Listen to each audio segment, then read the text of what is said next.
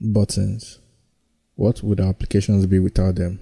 They come in different variations, with icons on both sides, with icons on the left or on the right, with text alone, with icons alone, with an entirely different color or size. So in this video, I will show you how you could create a reusable button component in Figma so it's easy to switch between variants in your designs.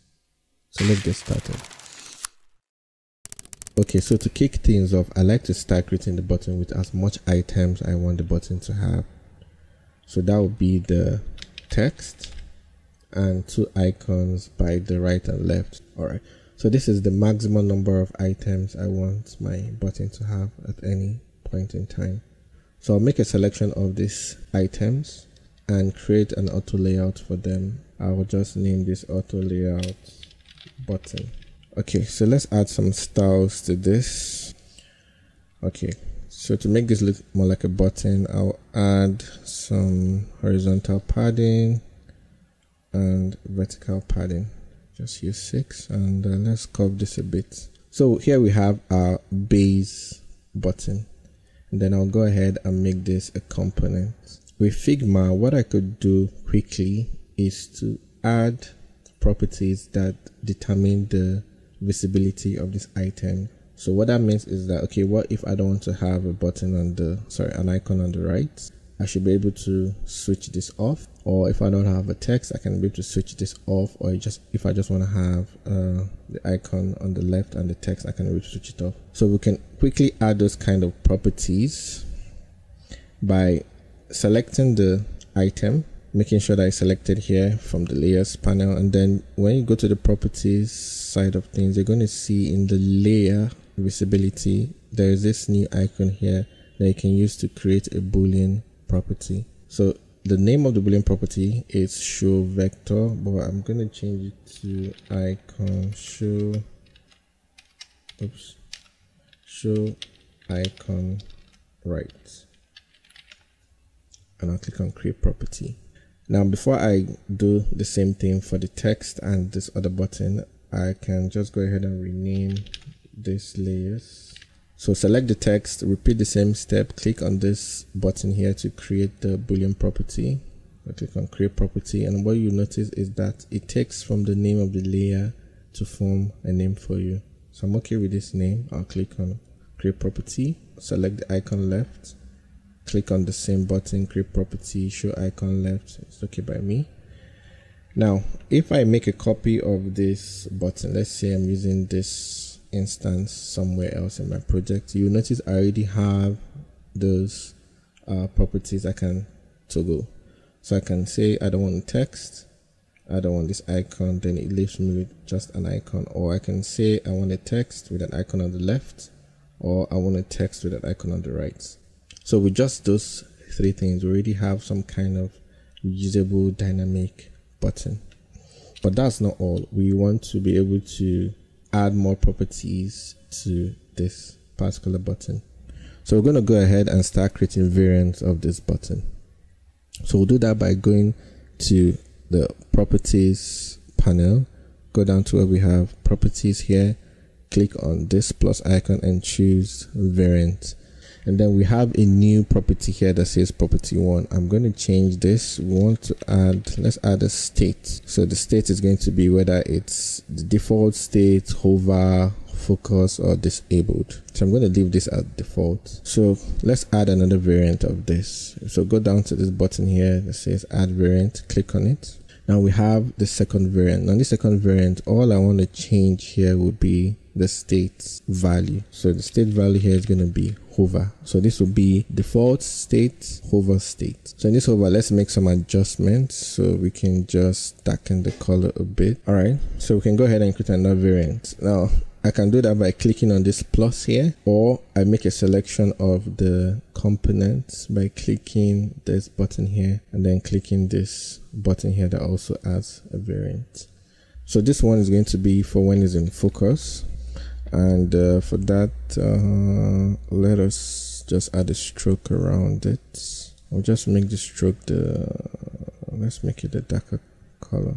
Can increase the stroke if I want to. And then we're going to create the last state variant of this which is going to be when it's disabled. Then we can go ahead and change the colors. So we have four variants and let's make a copy of this and see how that works. So with a copy of the button let's just assume this is somewhere in our component. You can see we can easily change the state for when it's hover state focus state and as well switch off the the other visibilities if we want to. So all of that is baked into this button.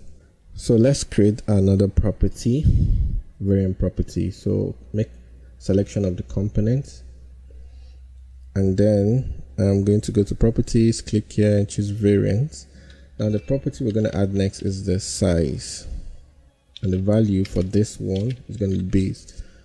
So when we click on create property it's going to apply the same value for all of this. So it's going to assume that all the size of this is the base size. So if at all you wanted to like have something different then you have to step into the component itself and make a change to that value but i'm okay with all of this being of the base size so I want to create for when the button size is small. Select all the variants I have and make a copy of all the variants. Now I'll do that by selecting everything, hold down Alt key and uh, drag. But if I do this this way, it's going to come off the the component itself. They're going to be copies. So I don't want it to be that way. What I need to do is increase this boundary so that when I make a copy of this and drag it to the right, it will still be inside this boundary. So it's seen as part of the the button component all right for these new ones i want the state so i can just go ahead and change it here i want the state to be small hit enter. Now of course they don't look small automatically so i need to change uh, let's change the the text size is what i need to change. So let me step in here make a selection of all the text here. I can make the text size 10 I'll make a selection of all the icons too. Alright so I can just change the size of this to 12 so this looks small in comparison with the other one so let's see how that works in uh, let's say we're using a component so I'll just make a copy of this outside this boundary then you can see I can switch the size from base to small and I can as well switch off or play around with the other uh, values. What else can we do? Uh, we can of course make the large size, but just to make this video shorter than it should be, I won't go ahead and do that. Let me just make this very large. Okay, so we could add variants for the color.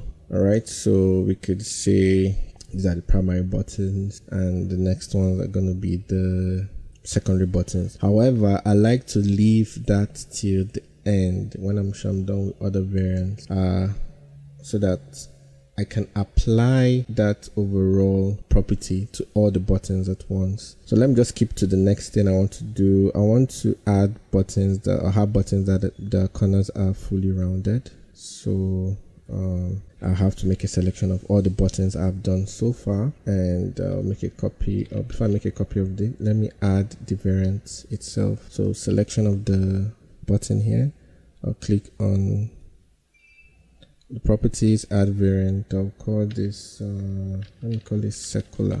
Now I want this variant to be like a switch like a yes or no. So the value we're going to put here is I just want circular? I'll say no. So all these are not circular. Now when I make a copy of all of this let me just drag it to the right here. Still need to expand this a bit. All right so I'll make a selection of this and I'll say yes. All the the circular here should be yes of course no changes yet. So what I'll do is I'll increase the border radius of all of this. So let's just make it 30 now let's see how this works if we're using this button somewhere. So when I drag this out you can see that circular uh, property is like a switch now. So I can switch it on and off on and off. And I can well have it when it's just a text and icon. What of icon alone? Let's see yeah it becomes a very round button which is nice. We can also change the states. So this is a disabled one this is the one in focus and all that. All right. So before i go further i kind of skipped mentioning that you can also add prototypes to your component. So for example i want this base button now. When you hover over it it should change this one. So we can change the flow while hovering. It should change its state to the hover state. Let's go back to our design. Okay there's another property i would like to have. That is when the button has a background or not. Uh, we can do that by making a copy. Or before I make a copy let's go to the button select the button component. Let's add a property variant I'll call it background all right for background the value of this they have a background yes so I'll say yes create property. I'll make a copy of all of this. Uh, let's bring it down here.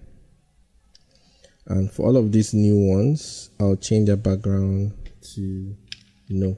But if we leave it this way we've not actually done make the changes. So what i want to do here is actually remove those backgrounds. All right so for these ones i need to actually step in here and change and change all of this to something like this so i'm just basically going in changing the colors to fit uh, what i want so hover would be a little bit darker uh, let's say for the focus let's leave the stroke for the focus. So let's see how that works. So I'll make a copy of this. I can switch off the, you can see I can switch off the background.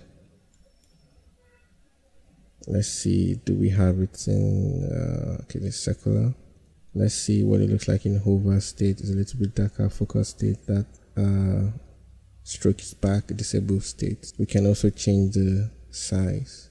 Now, when I'm satisfied with every other property that I want to add, I can now go ahead and do the ones for theme color if you wish to call it that way. So click on the button. Let's add um, variant, call it color. And for this one, the value is going to be primary. So the value of this will be primary. So that means I'm going to have another one, which is going to be secondary. So I'll make a selection of all of it.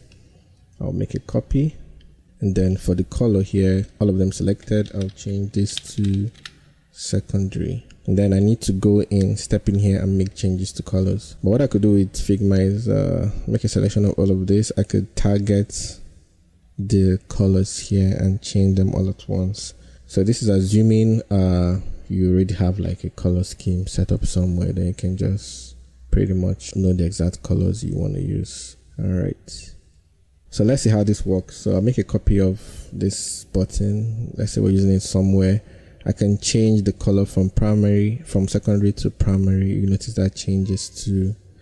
and every other variant remains accompanied with it. So you can see how that works. Make another copy of this. And for this one, the value of the color is going to be alternate.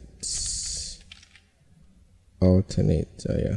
Then we go ahead in here change all the colors of course when you're doing when you're choosing your colors you need to make sure that uh, they pass the accessibility checks. So what that means is that the foreground and the background doesn't complement each other. There should be enough contrast so that the users can see what that is. So this button i can switch to alternate. Let me change this to focus. So you can see the colors change and we still retain all these properties. So that's how you can easily create a component for your button, reusable component where you can easily switch the properties. Alright, so before I wrap up this video, there's one more thing I would like to show you. Uh, that is how you could make these icons to be uh, dynamic. So in this button we have, we can only switch off the icons uh, we can decide what icon. So what you could do is before you get started with creating this button component, you create um, a list of all the icons you're going to use. So let me just paste some icons here. So these are just various icons and you can go ahead and give them names. You just name them appropriately. I'm going to make each individual one a component. So I'll make a selection of all of it. I will click this button here and choose create multiple components so that each of them is a component. And then I'm going to group them. So I can group them in an auto layout or just a frame. So let me use, uh, let's use a frame. So make a frame selection and this frame selection, I'll call this, I'm just call it icons. When I'm creating this button, let's say I'm creating this button, I will just make a copy of one of these icons. All right. And uh, okay, let's go into this button here, this base one. So let's say I'm just starting and then it's going to be part of what is going to be in my button. So I'm to call it, let me call it uh, no, let me just call it icon right and uh, just get rid of the other one. This is in my component, this button component. Now let's say I'm using this button somewhere in my design. You would notice that if I go into, if I step into this icon, let's say I make a selection of this icon, I can go to this design panel here and change the icon. So I'm able to pick from the list of these icons I already have here. Let me do the layer visibility of this one. Create property. Now it says show icon, right? Let me just make it. All right. So I'll still be able to switch it off and on. All right. So something to have in mind when you're about to start creating your uh, button component with icon. So it's good to have uh, a list of your icon or your icons as components, which you can now use in creating your button component so that it's easy to swap those uh, icons when you need them. So if you found this video helpful in any way, please leave a thumbs up. And if you have any questions, you can leave them in the comment section and I'll see you all in the next video.